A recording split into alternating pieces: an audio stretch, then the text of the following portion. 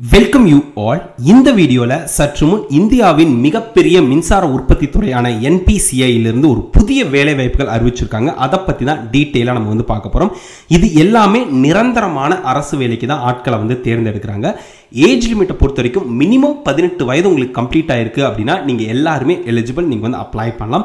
இந்த நோட்டிஃபிகேஷன் இப்போ தான் அவங்க வந்து சற்று முன் ரிலீஸ் பண்ணியிருக்காங்க. அப்ளை பண்ணுறதுக்கு லாஸ்ட் டேட் எப்போ அப்படின்னு பார்த்தீங்கன்னா செப்டம்பர் மாதம் அடுத்த மாதம் பதினோராம் தேதி வரைக்கும் நீங்கள் வந்து அப்ளை பண்ணிக்கலாம்.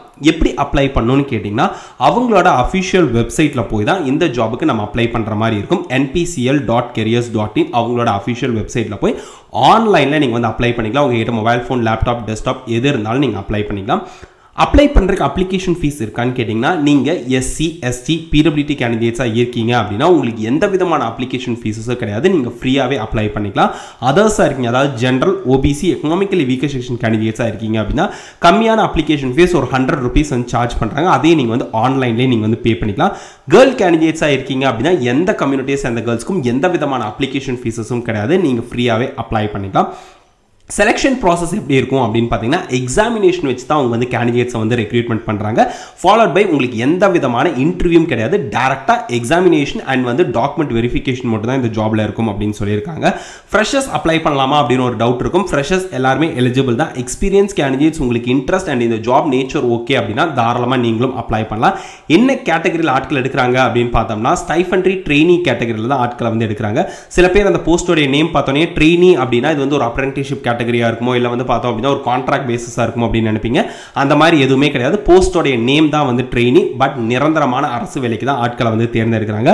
சேலரியை பொறுத்த வரைக்கும் உங்களுக்கு முப்பத்தி ரெண்டாயிரத்தி ஐநூறுரூவா வரைக்கும் உங்களுக்கு வந்து சம்பளம் கிடைக்கும். அது போக இயர் இன்க்ரிமெண்ட் ஆக உங்களுக்கு வந்து இயர்லி பெனிஃபிட்ஸ் அண்ட் கவர்மெண்ட்டில் கொடுக்குற அலவன்சஸ் எல்லாமே உங்களுக்கு வந்து கிடைக்கும்.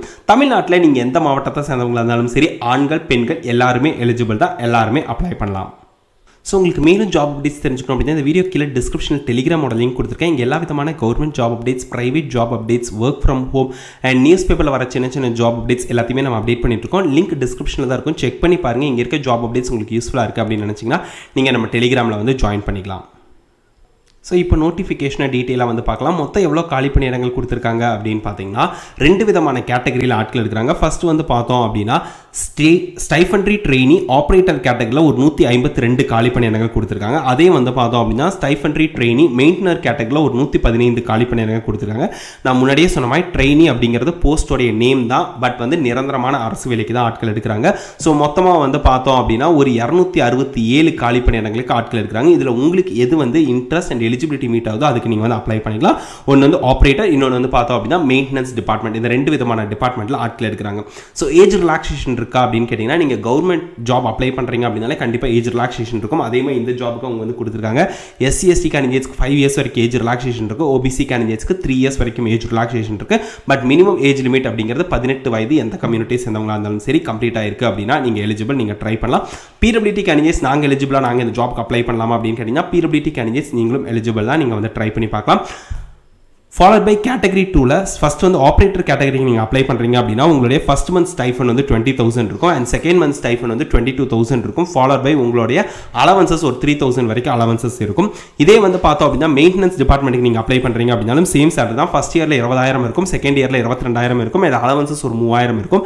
ரெண்டு வருஷம் வந்து பார்த்தோம் அப்படின்னா இந்த ஜாபில் உங்களுக்கு வந்து ட்ரைனிங் பீரியட் இருக்கும். பொதுவாக கவர்மெண்ட் ஜாப் அப்படின்னாலே எந்த கவர்மெண்ட் ஜாப் போனாலும் சரி சென்ட்ரலோ ஸ்டேட்டோ கண்டிப்பாக ஒன் இயர் வந்து ப்ரொபேஷன் பீரியட்னு சொல்லுவாங்க. ட்ரைனிங் பீரியட் கண்டிப்பாக ஒன் இயர் இருக்கும். பட் இந்த ஜாப் பொறுத்த வரைக்கும் உங்களுக்கு வந்து டூ இயர்ஸ் ட்ரைனிங் பீரியட் கொடுத்துருக்காங்க. நீங்கள் ட்ரைனிங் டூ இயர்ஸ் சக்ஸஸ்ஃபுல்லாக கம்ப்ளீட் பண்ணதுக்கப்புறம் உங்களுடைய சேலரி வந்து பார்த்தோம் அப்படின்னா முப்பத்தி ரெண்டாயிரத்தி ஐநூறுரூவா உங்களுடைய சேலரி இருக்கும் அப்படிங்கிறத கிளியராக அவங்க வந்து கொடுத்துருக்காங்க.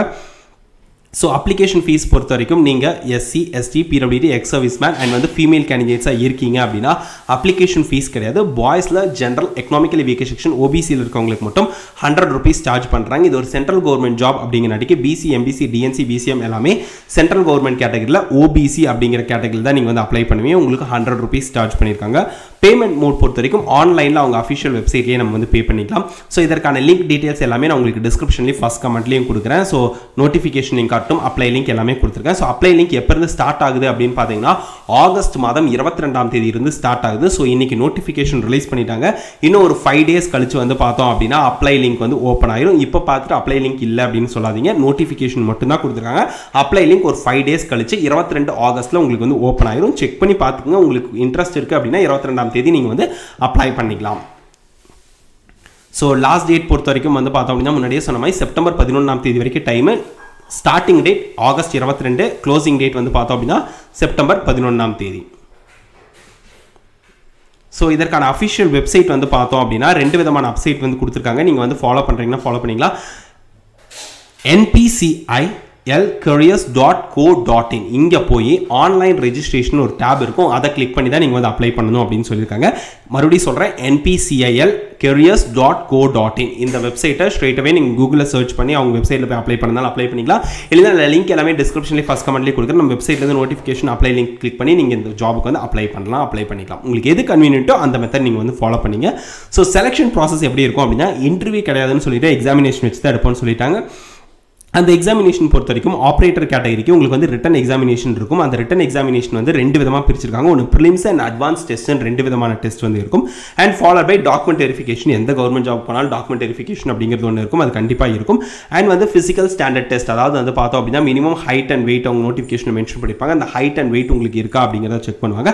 அதான் ஃபிசிக்கல் ஸ்டாண்டர்ட் டெஸ்ட்னு சொல்லுவாங்க. ஸோ உங்களுக்கு வந்து மெயினாக நீங்கள் ஃபோக்கஸ் பண்ண வேண்டியது வந்து பார்த்தோம் அப்படின்னா ரிட்டன் டெஸ்ட் தான் ப்ரிலிம்ஸ் ப்ளஸ் அட்வான்ஸ் ஸ்டேஜில் ரெண்டு விதமான ரிட்டன் டெஸ்ட் வந்து உங்களுக்கு இருக்கும். அதே மாதிரி தான் maintenance டிபார்ட்மெண்ட்லையும் prelims followed by advance test வந்து இருக்கும் உங்களுக்கு.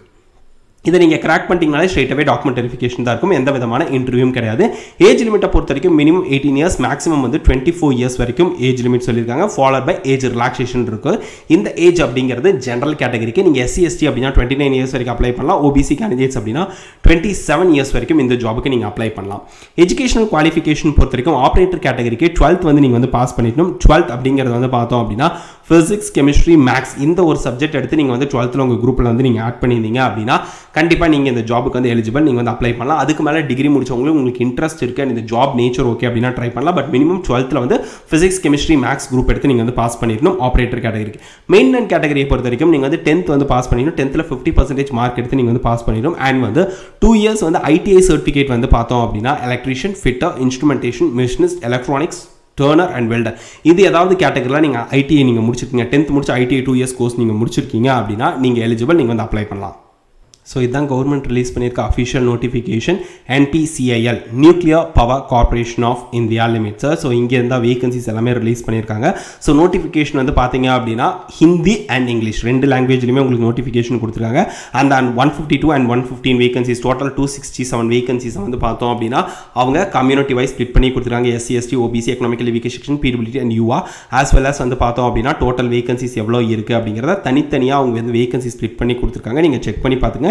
எல்லா கம்யூனிட்டிக்குமே நல்ல வேகன்சிஸே கொடுத்துருக்காங்க. ஸோ நோட்டிஃபிகேஷன் தமிழில் இருக்காது இங்கிலீஷ் ஆர் ஹிந்தி இந்த ரெண்டு லாங்குவேஜில் தான் வந்து பார்த்தோம் அப்படின்னா அவங்க நோட்டிஃபிகேஷன் கொடுத்துருக்காங்க. செக் பண்ணி பார்த்துட்டு நீங்கள் வந்து அப்ளை பண்ணுங்கள் சென்ட்ரல் கவர்மெண்ட் ஜாப் அப்படிங்கிறதுக்கு உங்களுக்கு ஜாப் லொக்கேஷன் எனிவேர் இந்தியாவில் எங்கே வேணாலும் போஸ்டிங் போடலாம். இன்க்ளூடிங் வந்து பார்த்தோம் அப்படின்னா உங்களுக்கு ட்ரான்ஸ்ஃபர் ஆச்சு அப்படின்னா தமிழ்நாட்டில் கூட வந்து கல்பாக்கம் அண்ட் கூடம் கூட இந்த பிரான்ச்சஸ் வந்து இருக்குது அங்கே கூட வேகன்சிஸ் வரலாம். இல்லை அப்படின்னா உங்களுக்கு வந்து நார்த் சைடு எங்கே வேணாலும் போடலாம். மும்பை அந்த மாதிரி ஏரியா ராஜஸ்தான் எங்கே வேணாலும் போஸ்டிங்ஸ் போகலாம் ஸோ சென்ட்ரல் கவர்மெண்ட் ஜாப் அப்படின்னாலே வந்து பார்த்தோம் அப்படின்னா கண்டிப்பாக உங்களுக்கு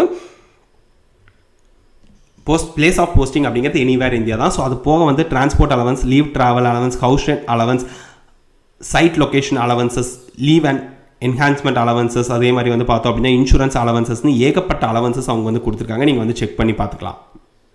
உங்களுக்கு இந்த ஜாப் வந்து யூஸ்ஃபுல்லாக இருக்குது அப்படின்னு நினச்சிங்கன்னா கண்டிப்பாக நீங்கள் அப்ளை பண்ணுங்க. இல்லை அப்படி உங்கள் ஃப்ரெண்ட்ஸ் யாருக்காவது யூஸ்ஃபுல்லாக இருக்கும்னு நினச்சிங்கன்னா மறக்காம உங்களுக்கு வந்து ஷேர் பண்ணுங்கள் அண்ட் உங்கள் எஜுகேஷனல் குவாலிஃபிகேஷன் என்ன என்ன மாதிரி ஜாப் ஆப்பர்ச்சுனிட்டி சர்ச் பண்ணிட்டு இருக்கீங்க அப்படிங்கிறது கீழே மறக்காம கமெண்ட் செக்ஷனில் கமெண்ட் பண்ணுங்கள் அந்த மாதிரி ஜாப் அப்டேட்ஸ் நம்ம கண்டிப்பாக நம்ம சேனல் அப்டேட் பண்ணுறோம் ஆல் த பெஸ்ட் பாய்